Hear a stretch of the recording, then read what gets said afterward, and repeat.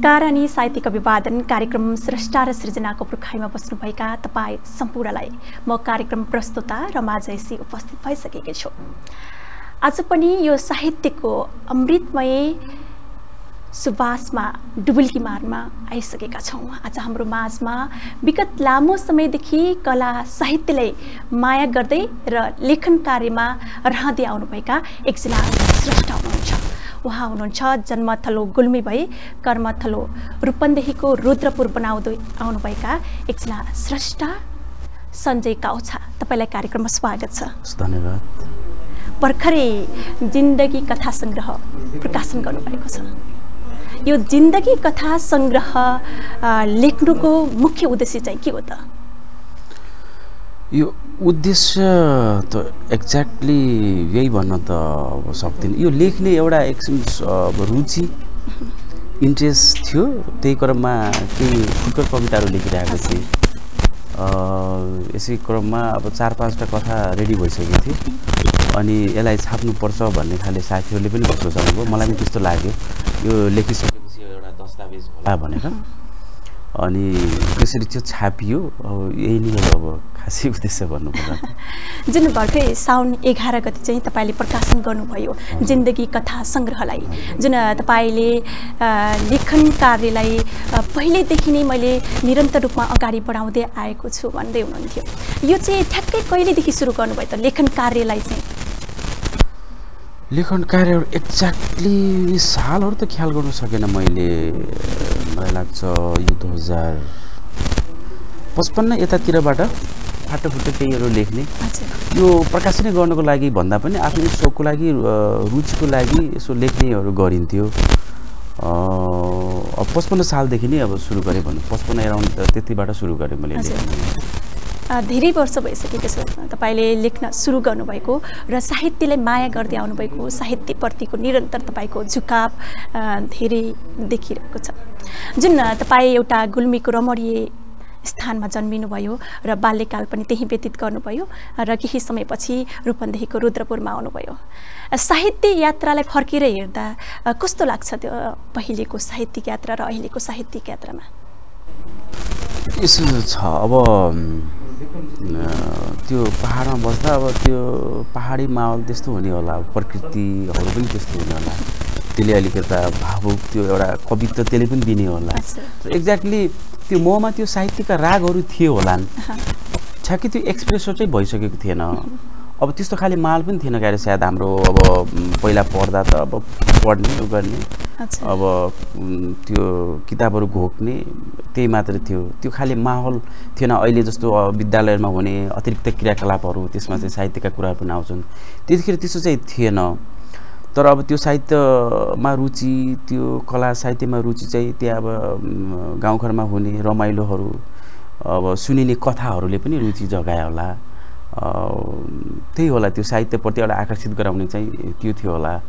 त्यसपछि अब कथाहरू सुनिँदै आइयो पढिँदै आइयो।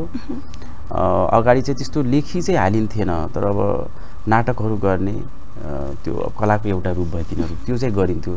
लेख्ने चाहिँ धेरै पछि नै दुई हजार पचपन्न छप्पन्न सालतिर यसो फाटोफुट्टो त्यो एउटा डायरीमा कोर्ने मात्र गरियो कोही प्रकाशन गर्नको लागि पनि होइन।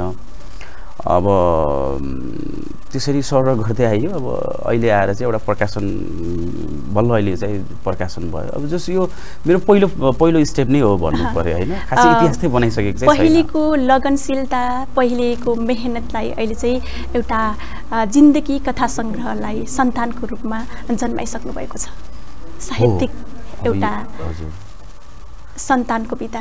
यही नै हो मेरो चाहिँ एउटा मानस पुत्र के भन्छ यो पहिलो पहिलो चाहिँ धेरै ठुलो प्रसव पिँदापछि पीडापछि यसलाई चाहिँ जन्माएको तपाईँको एउटा सृजना सुन्छौँ। कविता पनि लेख्नुहुन्छ।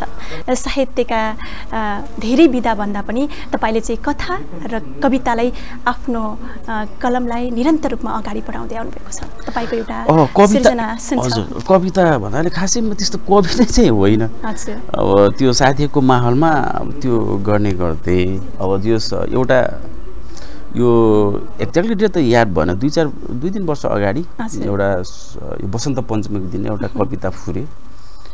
यो सरस्वती स्तुति ज्ञान टाइपको भनौँ न। त्यो लेखेको थिएँ। अब कवि नै त होइन होइन? आफूलाई कविता भन्दैन। अझ कथाकार हुँ कि हुँ कि जस्तो लाग्न थाल्यो अब चाहिँ यो जिन्दगी कथा प्रकाशन भइसकेपछि। एक किसिमको अब तर यो कवि नै हुँ चाहिँ म भन्दिनँ। फेरि पनि फाटफुट लेख्ने गरेको छु एउटा त्यो रुचिको हिसाबले। हजुर हजुर म एउटा सुनाउँछु नि। Vasant Panchami a mythological date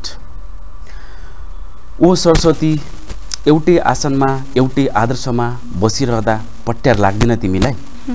ओ सरस्वती एउटै आसनमा एउटै आदर्शमा बसिरहँदा पट्यार लाग्दैन तिमीलाई? थाहा छ आज वसन्त पञ्चमी। वसन्त पञ्चमी वसन्त ऋतुको आगमनको शुभ सङ्केत अनि वसन्त ऋतु प्रेम र उल्लासको ऋतु।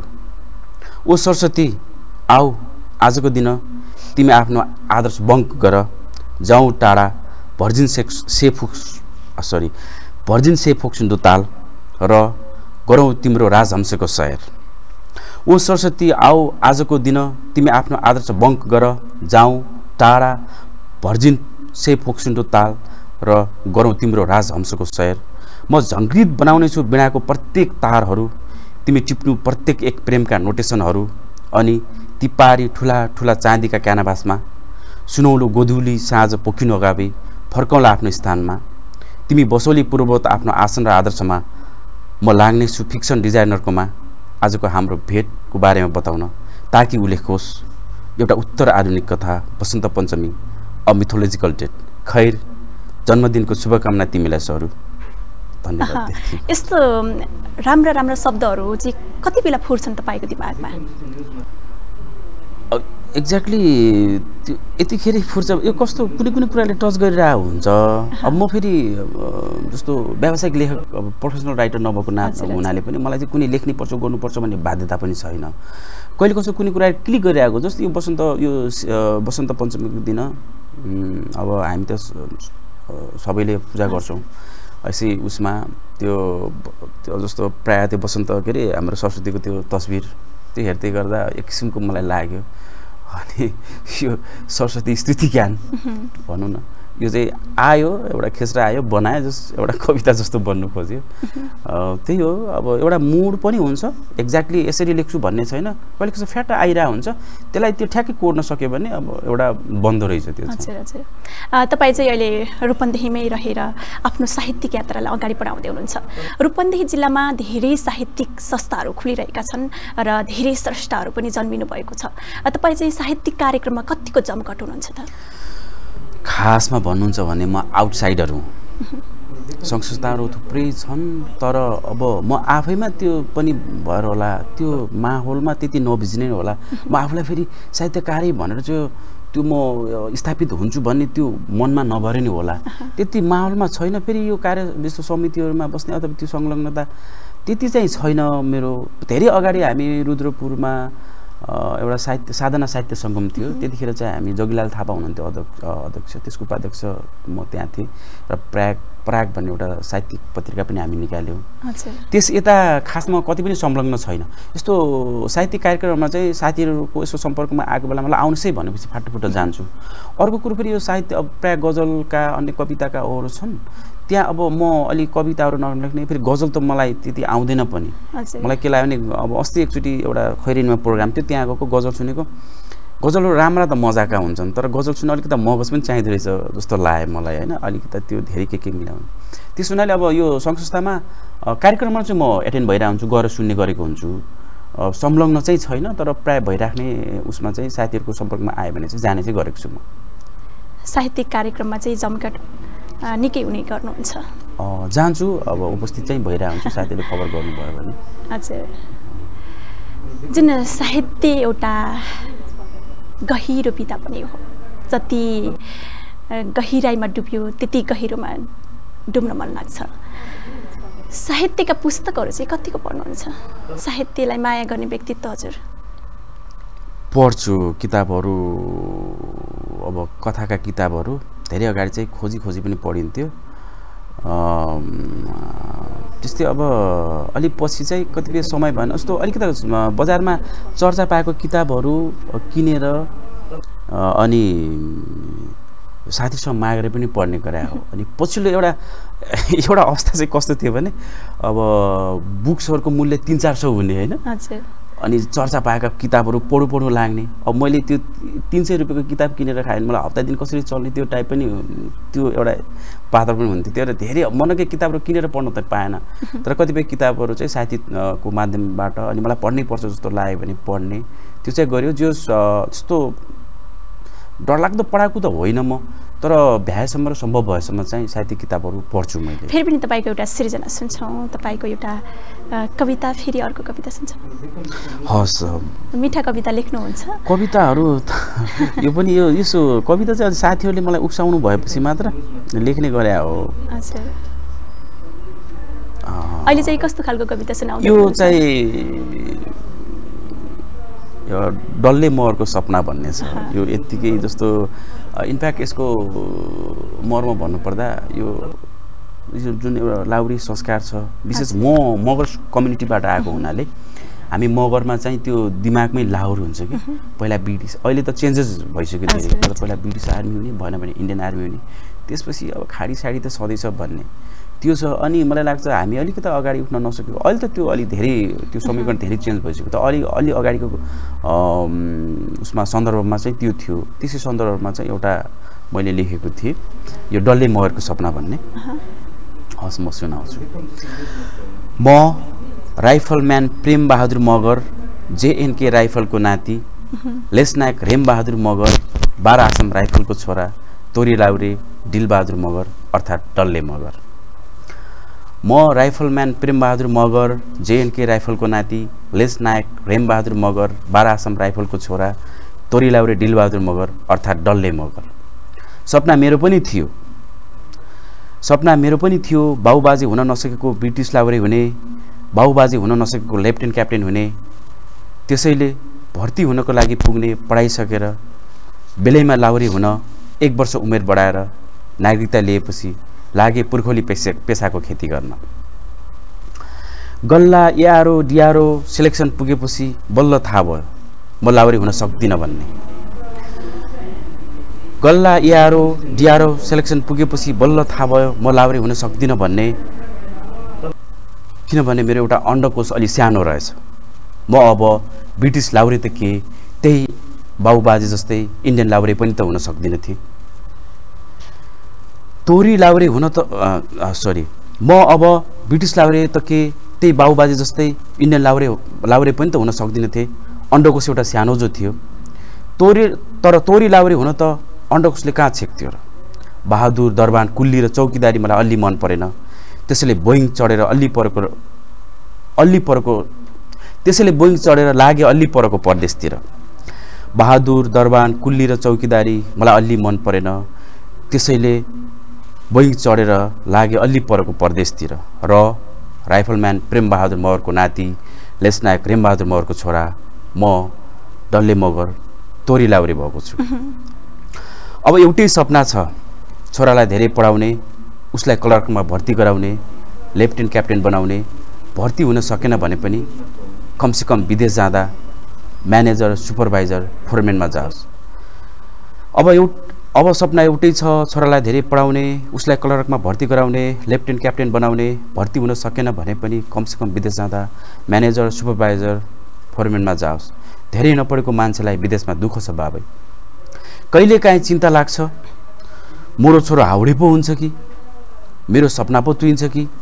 तारान्तार भेर भिआर बाइक किन्दे एप्पलको आइफोन किन्दे भन्दै फोन गरिबस्छ।